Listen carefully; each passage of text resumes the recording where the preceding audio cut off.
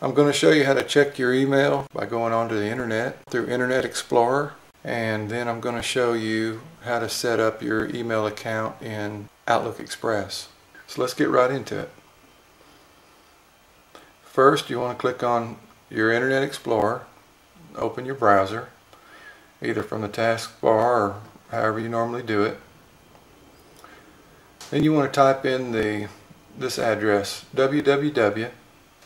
www.iam735.com slash M-A-I-L. This will take you to your login page. You want to type in your user ID, which will be the first portion of your email address. The password was given to you with your email address and this disk. If you want to change your password, send me an email including your password and the new password that you want to use and I'll put that in for you. Well here it is. You uh, can create new mail, refresh the page, set your personal setting, add addresses to your address book, create new folders. You may want to create new folders so that you can organize your emails as they come in. If you want to move an email, select the folder that you want to move it to and then click move. And that's pretty much all there is. Now I'll show you how to create a desktop shortcut. Right click on the desktop, select new, shortcut. Type in the address www.iam735.com slash M-A-I-L.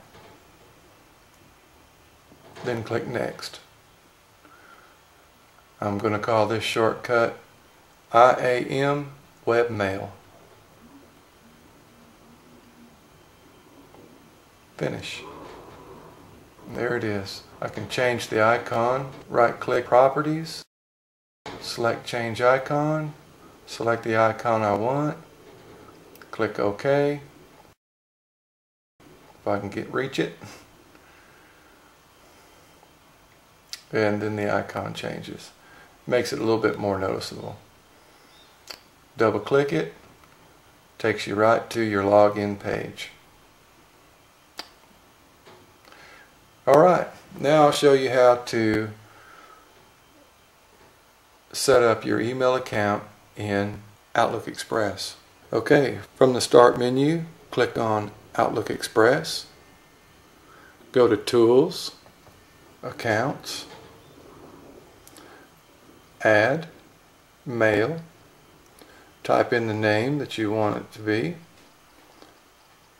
I-A-M T-R-A-M-S-A-Y. That's what I choose. You can write anything you want to in there. Here's where you type in the email address. For me, it'll be T-R-A-M-S-A-Y at IAM735.com. Next, the POP server is mail.iam735.com. The SMTP server is smtp.iam735.com. Next, account name, you want to type in the whole email address. T-R-A-M-S-A-Y at IAM735 Then type in the password, select uh, remember password if you want, click next. Okay, then finish. There it is.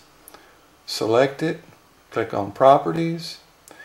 I uh, don't want it to show up as that name, so I want it to show up as this name. So I want to copy that, paste it here. Okay, I'll show you that in a second. This is uh, all the information that we put in. Remember password. Okay, don't worry about the other stuff. Apply. Okay.